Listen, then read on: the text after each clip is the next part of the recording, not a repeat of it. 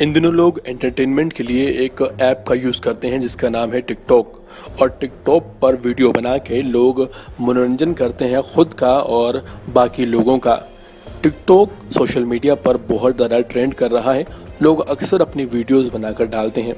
लेकिन वहीं टिकटॉक के चलते कई लोगों के लिए मुसीबतें भी खड़ी हो चुकी हैं।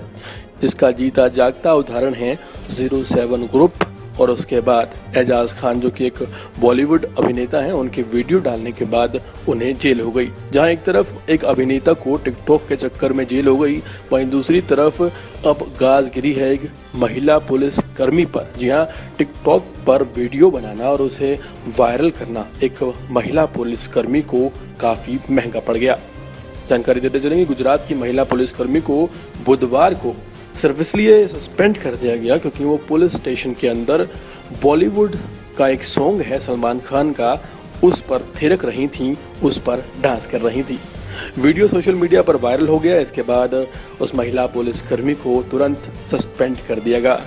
आपको बता दें कि महसाना ज़िले के लांगनाज पुलिस स्टेशन में लॉकअप के पास जो महिला सुरक्षा कर्मी तैनात थी, उन्होंने एक वीडियो बनाया और उसके बाद उसे वायरल कर दिया। इस वीडियो का जब पता चला आला अधिकारियों को तो उन्होंने इस महिला के ऊपर, जिसका नाम अर्पिता चौधरी बताया जा रहा है, एक्शन लेते हुए उसे तुरंत सस्पेंड कर दिया।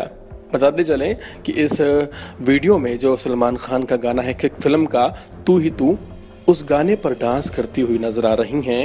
ये कांस्टेबल अर्पिता चौधरी, जिनका नाम है। आपको बता दें कि सोशल मीडिया पर टिकटॉक बहुत ज़्यादा ट्रेंड कर रहा है। लोग बहुत दीवाने हैं अपने प्रोफेशनल लाइफ के चलते चलते लोग इसका बहुत यूज़ करते हैं। और आपको बता दें कि अर्पिता चौधरी की हर वीडियो को तकरीबन 50 से पचपन हज़ार लोग देखते हैं, उन्हें पसंद करते हैं।